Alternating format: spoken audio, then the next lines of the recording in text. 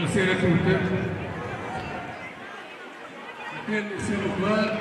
L'esperienza negativa che la guerra ci sta portando eh, in questo paese dell'Ucraina.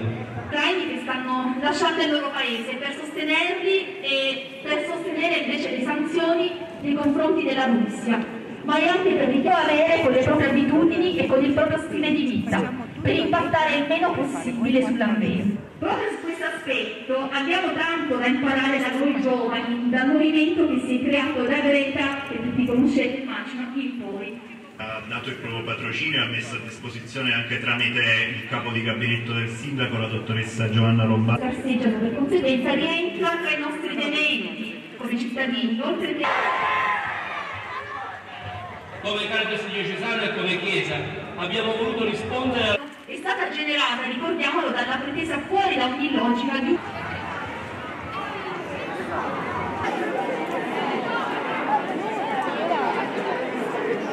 Tutti ci hanno chiesto, parlando dell'AMPI, che senso ha oggi parlare perché hai introdotto anche il discorso della stampa che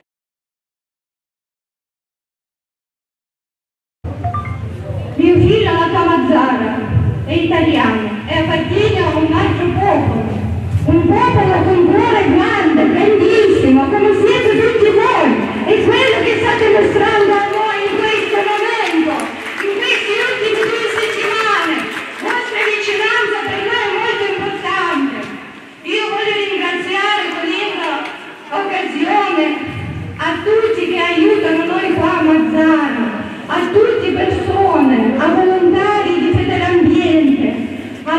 quello che abbiamo da pronto, che dopo portiamo il nostro aiuto in Ucraina, un camion di aiuti umanitari.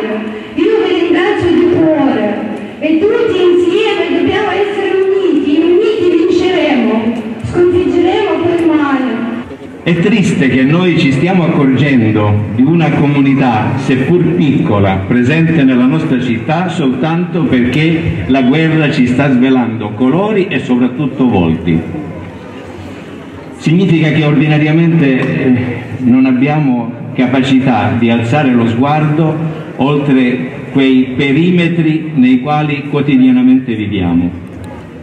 È triste che eh, deve essere la guerra a farci accorgere che ci sono persone che chiedono di essere trattate da persone, con tutti i diritti che alle persone competono, a prescindere dall'origine, a prescindere dalla cultura, a prescindere dalla storia, a prescindere dalla religione. Noi questa guerra la stiamo condannando e il pensiero bello che in questi minuti coltivavo dentro di me era esattamente questo. Voi siete la generazione della pace. A voi la guerra non ve la può insegnare nessuno. E la cosa che più mi addolora come uomo di chiesa, sapete qual è?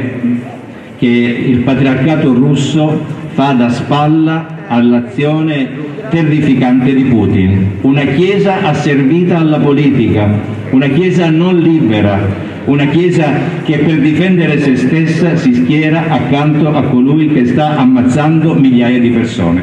Questo mi intristisce molto, perché quando le religioni, quando la fede. Strumentalizzano Dio per affermare la loro sopravvivenza, sono delle realtà morte